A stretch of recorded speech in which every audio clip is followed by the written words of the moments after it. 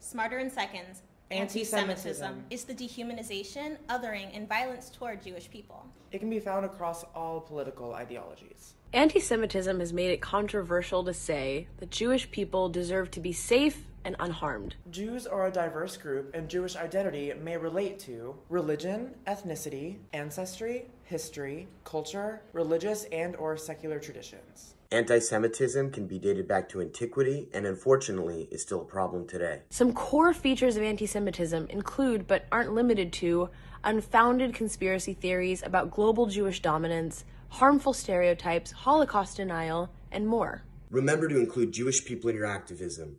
Learn what anti-Semitism looks and sounds like and call it out if you encounter it. Visit tinyurl forward slash ADL IHRA to learn more. Smarter in seconds.